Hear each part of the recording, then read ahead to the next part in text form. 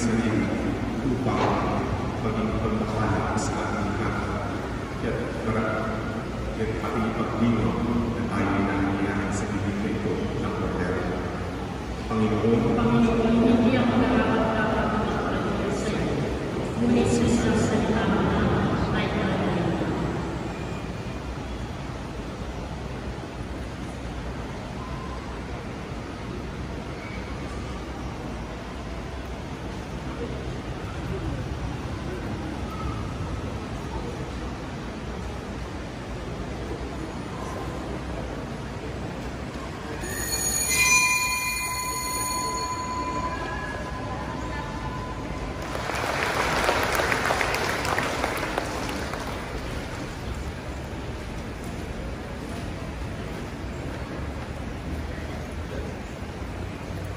sama-sama ko lang ipahayag ang ating pananampalataya. Sumasampalataya ko ang Ikaw ay magpapalangin at iingatan. Baklangan! Ayan, so dito po At sana muna tayo. tutuloy ang maging espiritu ng ating buhay. Hindi nga makalukot. Tayo ay nagiging pagpapala at iniingatan natin ang isa't isa. Ngayon ay January 1, 2023. Bagong taon. Happy New Year po Sobrang daming tao ngayon. Ang literal nitong ibig sabihin ay si Maria ang nagdalang tao. Dinala sa kanyang sinapupunan ang ating Panginoong si Jesus.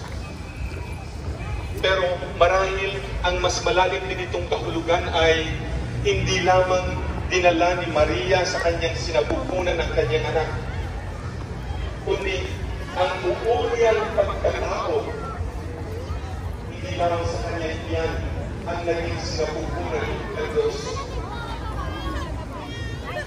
So ang buong pagkatao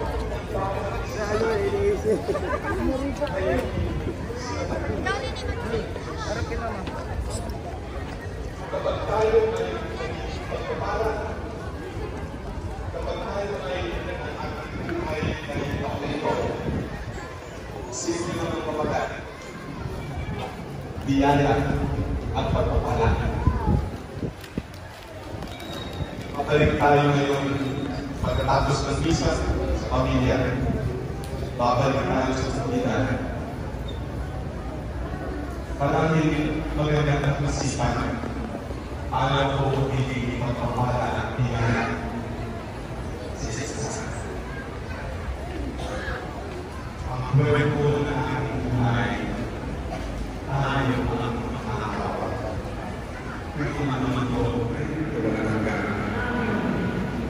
Puspusilawan ng kagalakan ng Espiritu Santo ang mga nagdiriwang sa pagpaparangal sa mahal na Birhen Maria upang sa ganitong diwa tayo ay sumama sa kalangitan na siyang pangalan ng kanan magpasawalang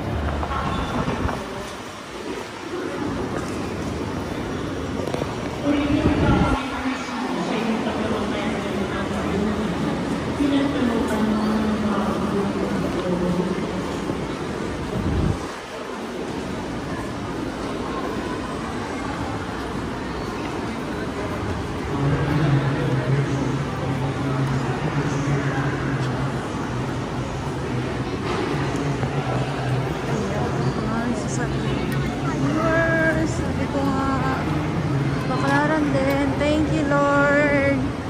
Sa taong 2022, at ah, ngayon nga sabi ko ah, ay 2023 na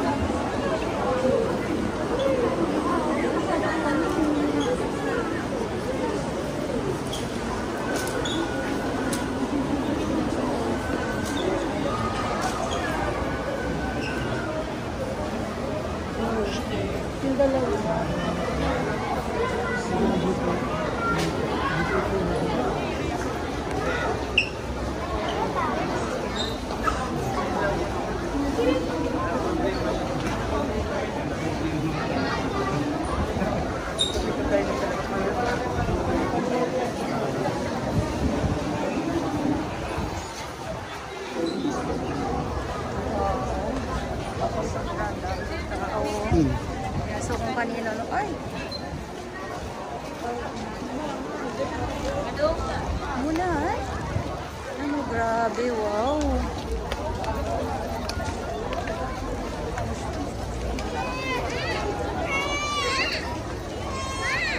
Mulan pala, no? Ilan ba sa kanila?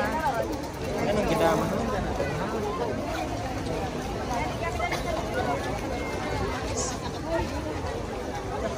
Ako limlim.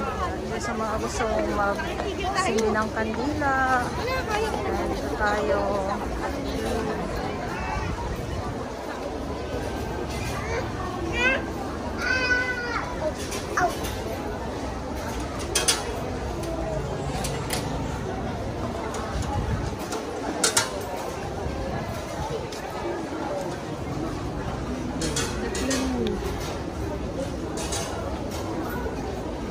Hindi ka nabibitin. Ito lang sa'yo?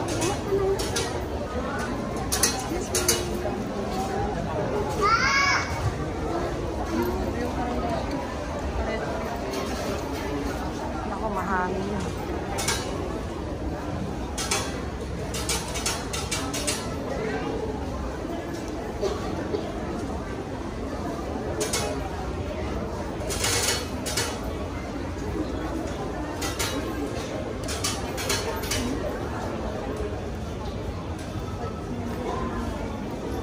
Ayan.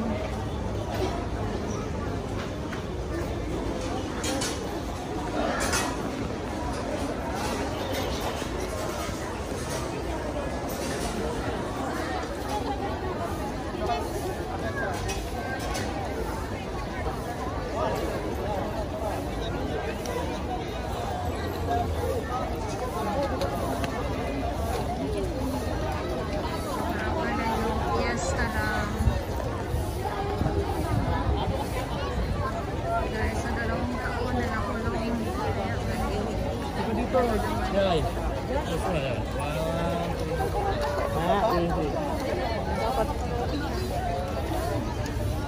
tayo dyan. Katama na.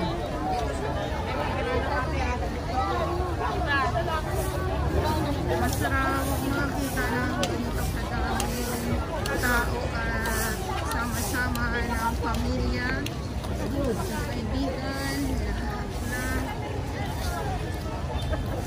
So dito tayo lalabas, hindi tayo dun sa kabila kasi punta niyo doon sa may kabila sa may LRT1 extension na kung saan ay medyo malayo-layo. So dito tayo. Dito tayo kayo na galing. Yung nating yung tandem. Ito yung to. Year! Hi! One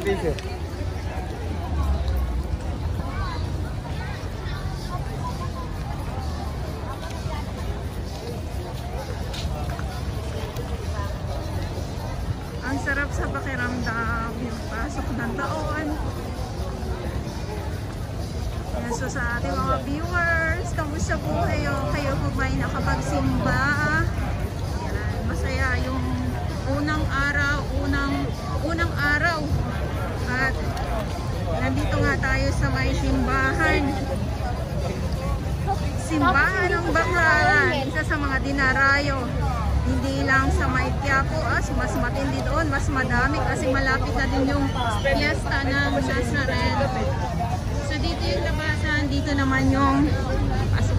Yan, entrance, dito naman tayo. So dito naman, andito yung LRT1 extension na ginagawa. Ito yung station sa may Asiana and then doon sa kabila. So dito alam nyo naman pag sa labas, sa may Baclaran, Quiapo lang, may mga halong-halong mga pahinga,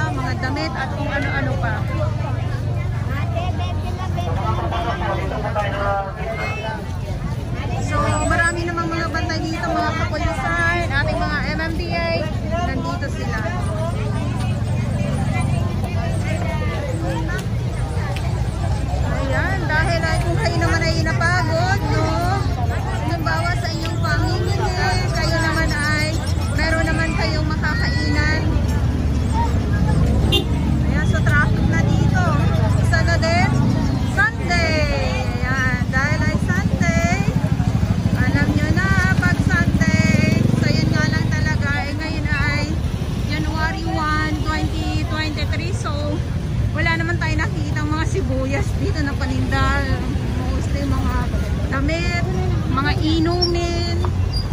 Oo. Pero ah, ano lang ah, ingat lang din tayo pag once na nasa ano tayo, nasa mataong lugar tayo. Yung inyong mga bitbitin, yung mga ganyan. Kaya dito tayo, pag sa mga gusto mamili, punta tayo dito.